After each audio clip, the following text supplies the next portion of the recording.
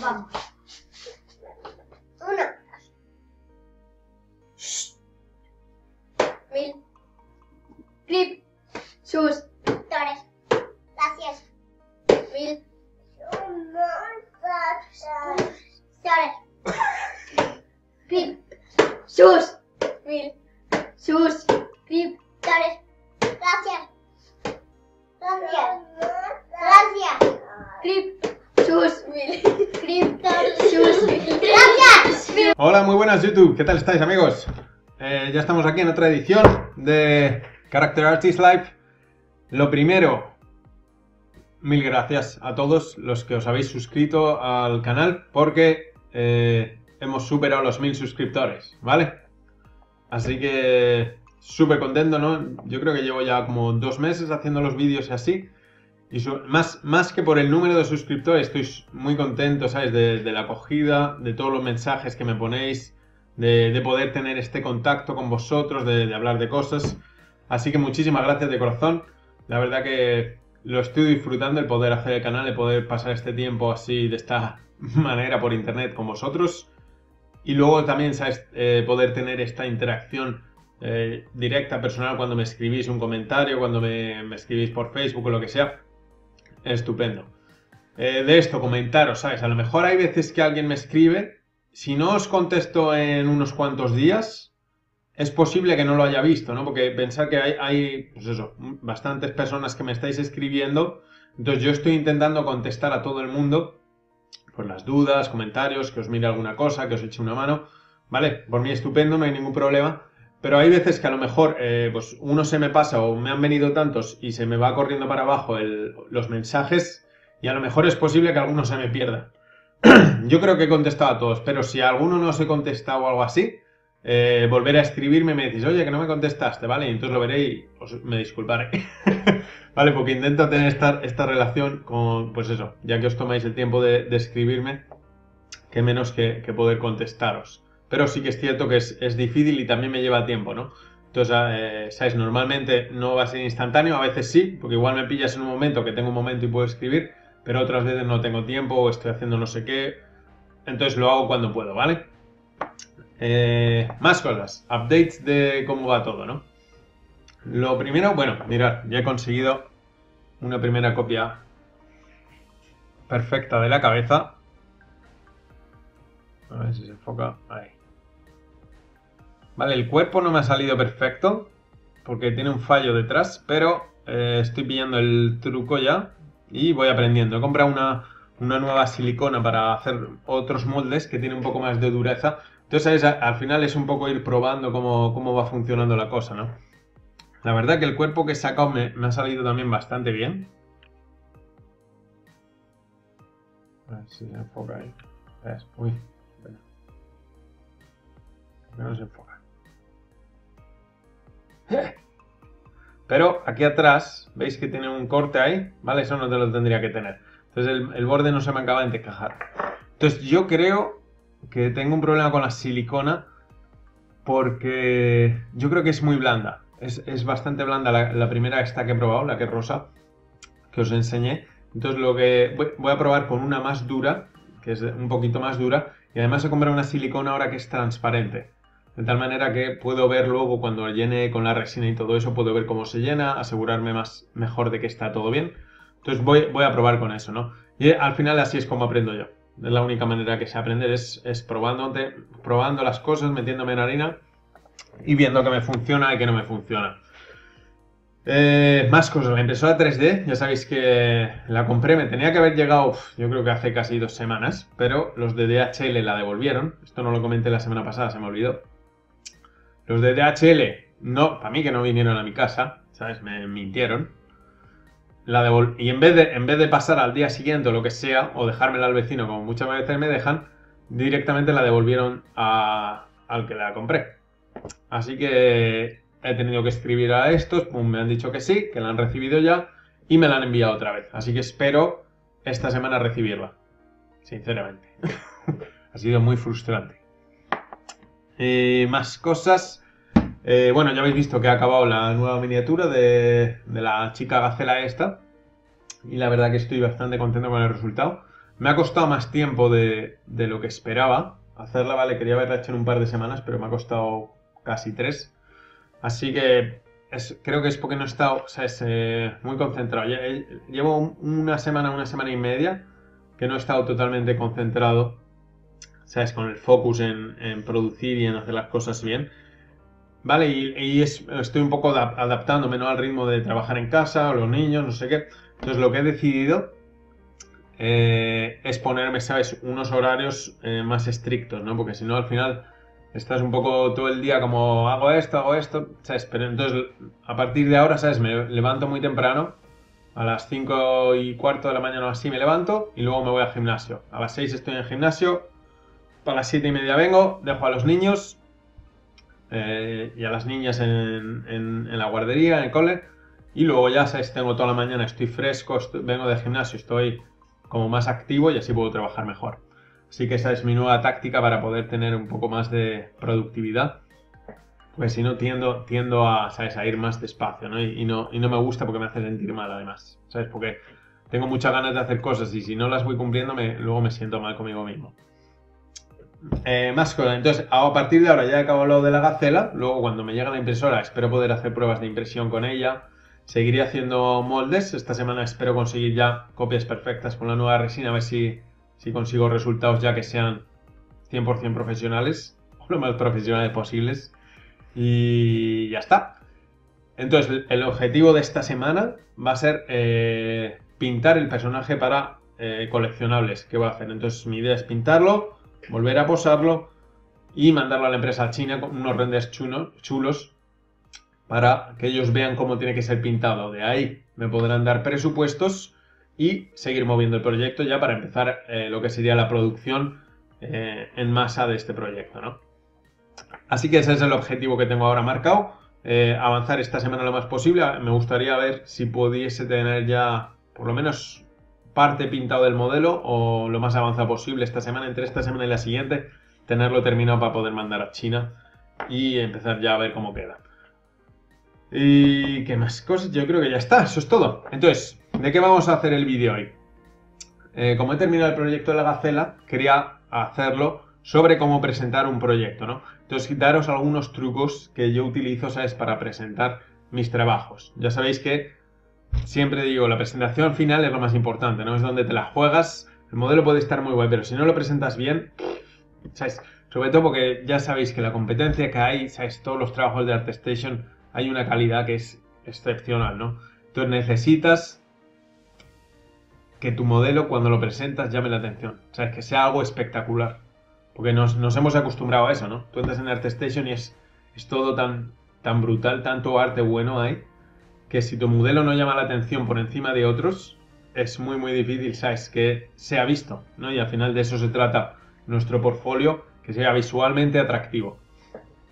Entonces, esto es guay, por un lado, ¿no? Porque realmente te hace empujarte, ¿sabes? No solo en el área de esculpido, no sé qué, sino también en, intentar ver las cosas, en, hacer que las cosas queden bonitas, ¿no? Cómo se presentan, y es una parte súper importante, ¿no? La más importante, diría yo, porque es donde te la juegas. Si no lo presentas bien, por muy guay que esté tu modelo, si no lo presentas bien, es como tirar por tierra todo tu modelo, ¿ok? Entonces, eh, ya sabéis, eh, este es solo un esculpido, sin textura, con lo cual, el tipo de presentación es distinto que Marmoset, ¿no? Es, buscar un render, ¿sabes? Que muestre la escultura, por así decirlo, en todo su esplendor y darle eh, el rollo que quieras, ¿no? Así que, eh, sin más, os, voy a explicar, pues eso, algunos trucos y un poco el proceso que he seguido, por ejemplo, en la creación de esta figura que he sacado esta semana. La semana pasada, creo. Ok, entonces mirad. Eh, acabé con este modelo, ¿no? En ZBrush. Entonces, lo que hice, aquí lo vais a ver, es mergear todas las piezas. Las puse en, la, en las subdivisiones para que todo se vea decentemente.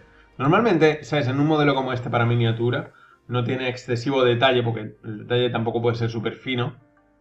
Pero lo que hice, eh, pues poner casi todo al máximo nivel de subdivisiones y luego mergearlo todo. De tal manera que me queda solamente eh, esta pieza. ¿no? Ahora estoy aquí en modo de solo, solo estamos viendo todo el modelo unido, como una sola pieza, ¿vale? una vez eh, mergé el modelo, le metí, para que os fijéis, un poquito de relieve a todo, ¿vale? Porque este, este relieve va a ayudar luego a que el render sea un poco más... Eh, que no sea tan 3D. Es, es muy sutil realmente, porque eh, al verlo de tan a distancia no se va a notar. ¿Ok? No, es un personaje en el cual yo quiera hacer eh, renders de calidad, en plan súper cerca de la cara, porque no es, no es la finalidad. ¿Vale? Porque es una miniatura. Pero sí que el tener ese poco de relieve luego hace que la luz eh, afecte de forma distinta y no sea tan suave, ¿no? Entonces, eh, para mi modo, se da un poco más de rollo interesante. Esa es una de las cosas que suelo hacer, sobre todo para renders así de miniaturas o, de, que son sin texturas, dar un poco de vida así. Eh, luego le hago un Decimation Master, ¿ok? Voy aquí. Y le hago uno de estos, le hago un preprocess y luego un Decimate Current. De tal manera que la malla que tengo no sea tan densa, ¿no? Entonces, eh, ahora mismo mi malla es de 3 millones de polígonos. Pero creo que, antes de hacer el Decimation yo creo que era de 49 millones o algo así. ¿Vale? No me gusta hacerlo en exceso porque si no se queda como muy eh, falso, ¿no? Una vez lo tengo, simplemente me exporto el modelo en OBJ y me lo llevé a Max. Voy a cargar la escena. por aquí. Ok, Max lo que he hecho yo lo he renderizado con VRay, ¿vale? Max es como mi programa 3D principal. Puedo usar Maya también, pero prefiero Max porque es el que más años he utilizado y lo controlo más para modelar. Me gusta muchísimo más que Maya. Maya es como un rollo para modelar. Y luego también he trabajado muchos años con, con VRay. Ya sabéis que hice arquitectura y cosas así. Entonces quería crear un render. Sobre todo quería para este modelo crear un render sencillo y limpio pero que se viesen muy bien las formas, que, o sea, que fuese como elegante, ¿no? Era, era mi idea. Otras veces a lo mejor lo hago más contrastado, más exagerado, o una luz más potente de arriba que cree más sombras, pero en este caso quería sobre todo crear un red, quería hacer un render elegante del modelo. ¿Ok? Para ello, eh, simplemente me he puesto, siempre pongo esto, ¿vale? Un plano por detrás, lo pongo así doblado para que se vea todo bien. Esa mujer que vive en mi casa no sé quién es. Siempre, siempre está pasando por aquí. Y digo, pues, ¿pero de dónde sabe?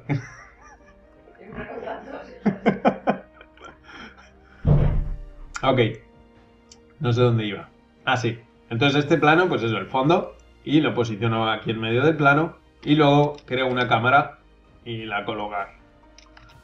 ¿Vale? Eh, quería que fuese un render así en largo, sobre todo porque eh, si se puede, mola hacer renders así porque en ArtStation luego se ven como mejor, ¿vale? Si lo haces como muy ancho, normalmente luego se hace como más pequeño. Entonces hacer renders alargados yo creo que funciona mejor. Y para este tipo de modelo funcionaba mejor en este caso. Entonces estas son las dimensiones que creé para el render. Y he utilizado simplemente dos luces, ¿vale? Una luz que sería lo que es la luz principal. Ya veis que es este plano que tengo aquí arriba ¿vale? Y luego tengo aquí una luz de environment, también VRay, aquí lo tenéis, VRay Light, es un DOM, ¿vale? Quiere decir que nos ilumina con media, media cúpula. Pero a esta cúpula lo que yo le suelo hacer es meterle un, eh, un ¿ok?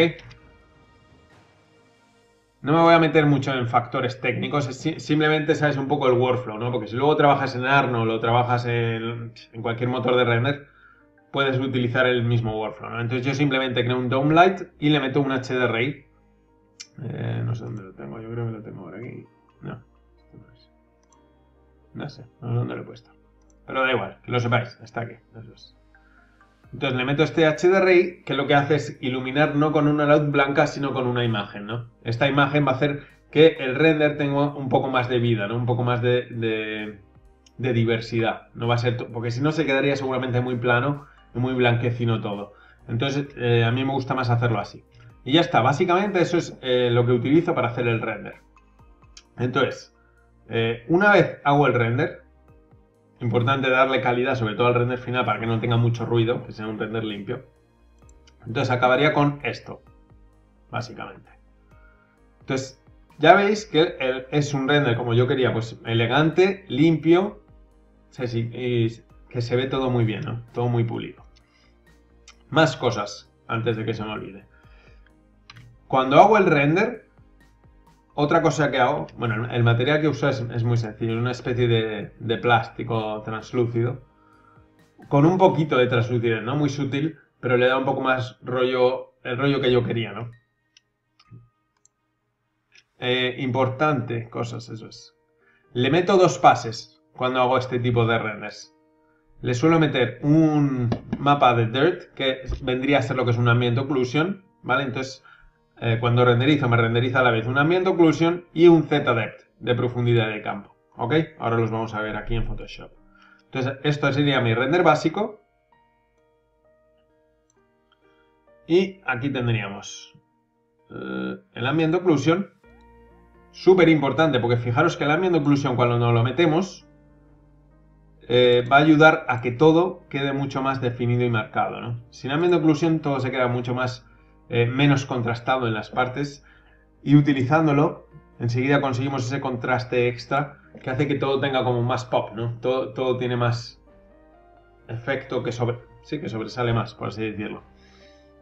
Entonces, ese sería uno de los mapas y el otro mapa, lo tengo aquí metido, es el, uh, el ZD, que lo meto aquí en el alfa. Luego si eso os enseño cómo funciona. Vale, que básicamente es un, mapa así, que lo que hace es que la zona más blanca, cuanto más blanco es que significa que está más cerca de la cámara, cuando más oscuro, más lejos de la cámara. ¿Vale? Y esto te permite utilizar luego desenfoque de, de la cámara, pero en Photoshop lo cual te da control absoluto para definir cómo va a quedar al final. ¿Ok? Muy bien, entonces, más cosas. Hemos dicho, tenemos el Ambient Occlusion. Antes de hacerlo, lo primero que yo hago siempre es duplicarme la capa. Una vez me duplico la capa, porque siempre me dejo atrás la, esto porque así puedo comparar cómo lo tenía antes y cómo queda ahora, ¿no? Para asegurarme de que está mejor y que no la he cagado. ¿Ok? Entonces, una vez lo duplico, empiezo a jugar con colores, ¿no? En este caso, si os fijáis aquí lo que he hecho, ha sido, eh, por un lado, contrastarlo más y luego le he metido eh, tonos de color, ¿ok? Simplemente para eso, si, si os venís aquí Vamos a hacerlo con esta para que veáis un poco el rollo. Normalmente suelo hacer así, me voy aquí y le digo color automático, que me va a poner una especie de contraste automático, tono automático. el tono automático me está dando este color, pero este color no me gusta. Y puedo hacer contraste automático también. Eso lo pruebo, ¿sabes? A veces funciona guay, a veces queda fatal. Entonces, si funciona bien, como en este caso, de lujo. Si no, lo hago a mano utilizando las curvas o lo que sea. Una vez lo tengo ya eh, así que, ya así automáticamente está mejor. Lo único, no me convencía el color, entonces me fui a tono saturación y aquí empecé a jugar un poco con los parámetros, ¿no? Y lo llevé hacia estos parámetros más eh, rojizos, ¿no? Como, como rollo tierra, ¿no? No sé por qué me, me atraía este, este tono. Normalmente esto para mí es básicamente ir probando, ¿vale? Entonces voy probando qué tonos me funcionan, ¿sabes? Así en marrones también habría quedado guay, porque al principio le había dado un toque dorado, pero luego me gustó más tirarlo hacia, hacia esos tonos así. No sé, me daba más rollo africano, ¿sabes? Que es un poco lo que yo tenía en la mente para este personaje. Entonces lo tiré un poco hacia estos tonos, ¿ok? Este fue el paso 1. Eh, una vez esto, lo que hice fue volver a duplicar la capa. No, esta no. Esta es la, que usé yo. Dupliqué la capa otra vez y lo llevé hacia otros tonos, ¿vale? Porque si no se quedaba un poco demasiado. Entonces esto lo voy haciendo muchas de lo y voy creando capas y voy probando cosas. Y al final lo, dejé en estos tonos. ¿Ok? Luego aquí tengo el Ambient Occlusion, que como veis hace que todo quede mucho más definido. Y luego, esto es muy interesante, le voy a meter esto es básicamente, creo una capa así, una capa blanca, está desactivada así, y me creo aquí con un degradado en modo circular. Voy a intentar que el círculo más claro quede en la zona eh, que más importancia tiene del personaje, ¿no? Por así decirlo. Entonces, en este caso, es esta zona de la cara y del cuerpo, ¿Vale? Entonces, según vamos hacia abajo, yo quería que estuviera como un poco más oscurecido, ¿sabes? Para que nos centramos en, en, en lo importante, ¿no? Y esto se utiliza mucho, ¿no? Este, ¿cómo se llama? Como un umbral. Entonces, básicamente lo que hice fue crear algo así. Entonces, si os fijáis, esta zona queda como más definida. Y ah, luego le puedes aplicar, eh, puedes jugar con distintos módulos de estos. Entonces puedes utilizar luz fuerte, por ejemplo. Y fijaros, ¿sabes? Automáticamente como... De hecho lo pondría un poco más en la cara, ¿no? Algo así. Automáticamente como estamos ensalzando, ¿sabes? Esta zona queda mucho más brillante que esta. Esta no queda excesivamente oscura, pero está dando ya un poco más de rollo, ¿no? Entonces esta es un poco la idea de cómo definir las áreas a las que la gente queremos que mire primero, ¿no? ¿Qué áreas, qué áreas son importantes en nuestro personaje? Este es un truco que al menos a mí me suele ayudar a definir eh, y a pensar cómo la gente va a ver esta imagen automáticamente, ¿no? Entonces yo poniéndolo así sé que automáticamente la gente se va a centrar en lo que es la, esta parte del personaje y luego va a ver el resto. Pero esta es la parte importante, ¿no? Donde está la personalidad yo creo que siempre es la cara.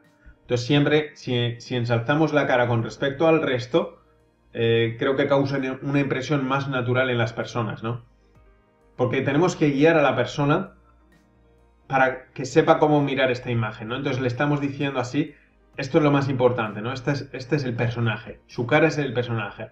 Y luego el resto está acompañando y dándole fuerza a este personaje, ¿ok? Pero esto es lo importante, ¿no? Por así decirlo. Porque si, tú dejas toda la imagen, por así decirlo, igual, la persona que la está mirando no sabe a dónde mirar. Porque hay mucha información. Entonces tenemos información aquí, hay muchos detalles por aquí, por aquí atrás. ¿Sabes? Pero yo no quiero que una persona cuando mire mi, mi, imagen se centre aquí en este área. Fijaros cómo cambia, ¿no? Si yo pongo aquí el centro, tú automáticamente, sin pensarlo, miras aquí. ¿Ok? Entonces, eso está restando puntos automáticamente a tu personaje, porque no estás ensalzando lo principal. ¿Vale? Y es súper fácil de controlar. Entonces este es uno de los trucos que yo suelo utilizar para esto. Eh, en este caso no sé si lo utilicé dos veces. Creo que una como para marcar más oscuridad aquí en los bordes muy sutilmente. Luego esta para exagerarlo. Luego, ya veis que aquí está súper exagerado, ¿no? Es, como excesivo. Entonces lo que hice fue añadir un, tono saturación aquí para controlarlo. Lo desaturé un poco y lo viré un poco también en tonos. ¿Vale? Entonces si os fijáis lo viré un poquito para dar unos tonos azulados un poco más morados y queda mucho más guapo, para mi gusto. ¿Sabes? Al final esto es mucho de, gustos y ver a ti que te gusta, ¿no? Y cómo queda. Entonces ya sabéis que a mí en las imágenes siempre me gusta darles como un poco de contraste, un poco de vida, ¿no? No me gusta que sean eh, sin más un render plano. Me gusta como que transmita en cierto modo un poco de historia, ¿no? Del personaje, un poco de... no sé. Entonces este es mi rollo, ¿no? Y normalmente en mis renders se aprecia enseguida el, el rollo que yo tengo de darles. Vale, esto ya simplemente el logo. Luego, últimos toques que le di son estos. Es bueno, este es el logo que metí de White Wolf porque va a ser para las miniaturas. Pero luego aquí, fijaros en, esta zona de aquí, he metido unos humos. ¿Los veis por aquí? Es muy sutil, pero me ayuda a, darle un poco más de, ambiente a la imagen. Lo puedes hacer más exagerado, pero yo en este caso quería que fuese todo bastante sutil. Entonces son simplemente, mira, para que lo veáis cómo son, lo he puesto en modo saturación, que afecta simplemente al color, si lo pusiera en modo normal, fijaros cómo son. ¿Vale? Entonces esto es simplemente una imagen de polvos o de humo que cogí en internet, la he puesto aquí y luego la he puesto en modo saturación. Aquí está. ¿Vale? Y puedes aquí jugar con cuánto quieres que se note, cuánto no quieres que se note. ¿Ok? Y esto podríais utilizar otros modos. Yo lo he puesto en saturación, pero puedes ir y jugar con distintas eh, formas, ¿no? Lo que es que, ¿sabes? Eh, si empiezas a jugar, yo quería que fuera muy sutil, no, no, quería que se marcara mucho. En otras imágenes lo marco mucho más, ¿no? Este rollo de cosas que hago. Pero en esta en particular quería que fuese todo muy limpio, ¿no? Después también hacer esto y luego bajarle la intensidad para que sea mucho más sutil. Entonces ya es buscar un poco la idea que tú tengas. ¿Ok? Y luego, por al final, juego un poco con las curvas para contrastarlo y definirlo un poquito más. ¿Ok? Esto hasta aquí. Una vez tengo esto, ¿vale? Uno de los últimos pasos que os, recomendaría hacer, o que yo suelo hacer, es eh, este.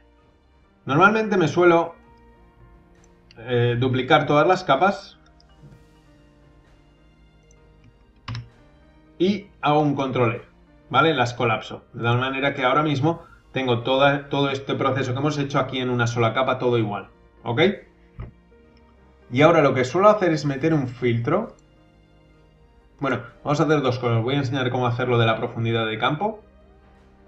Y luego el último filtro que le meto para ensalzarlo un poco más todavía. Yo creo que en este ya está metido porque se ve bastante. Pero bueno, os voy a enseñar cómo lo haría yo. Eh, a ver. Profundidad de campo. Entonces, la profundidad de campo es simplemente una imagen que yo había renderizado aquí. Eh, vamos a ver, en este caso sería esta. No, perdón. Bueno, esta es la, del otro render. Pero es una imagen tal que así. Normalmente lo que hago es copiarla y me voy aquí a canales y creo un canal. Un canal alfa. ¿Vale? Aquí ya veis, pone alfa 2 y haces control V y automáticamente tú tienes aquí creado este alfa 2. ¿Ok? Lo voy a borrar porque ya tenemos el otro. Pero para que veáis el proceso. Ok, lo siguiente. Me puedo ir aquí a filtro. Y voy a decir eh, desenfocar de lente. Desenfoque de lente. Dándole a desenfoque de lente, automáticamente. Bueno, antes de hacer eso, si no queréis que os moleste, lo que tenéis que hacer es hacerle un crop aquí le dais así y así no sale todo el resto de cosas en la imagen. Entonces, como os decía, me voy a desenfoque de lente, me carga la imagen y clicando yo le digo dónde quiero que esté mi punto de enfoque, que lógicamente, como os he dicho antes, va a ser la cara en este caso. Aquí en origen le voy a decir utilízame el alfa 1.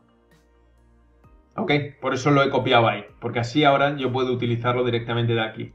Entonces digo, utilíceme el alfa 1 y aquí ahora podéis jugar con el radio. Tarda un poco en cargar. Y la curvatura. Mira, si por ejemplo en radio le doy ahora, mm, vamos a darle un 40. Fijaros cómo se ha desenfocado tanto esta parte de delante como esta parte de atrás, ¿vale? Pero todo esto queda totalmente enfocado, ¿ok?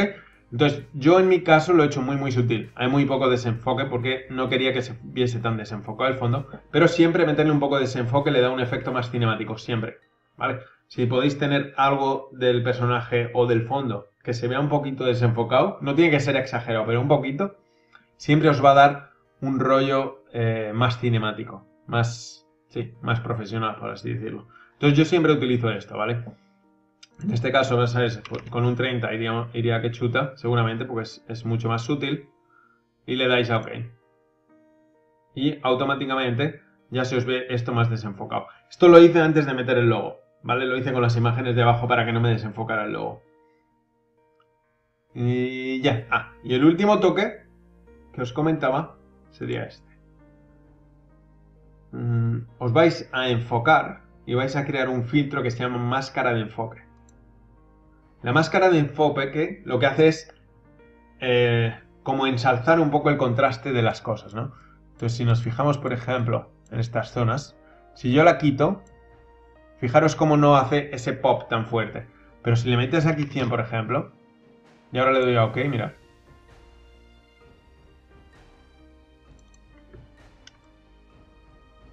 Lo que va a hacer es que eh, va a contrastar las formas oscuras y claras como un poco más. Ahora está exagerado porque yo creo que lo tenía hecho de antes. Vale, pero la idea... ¿Veis el cambio?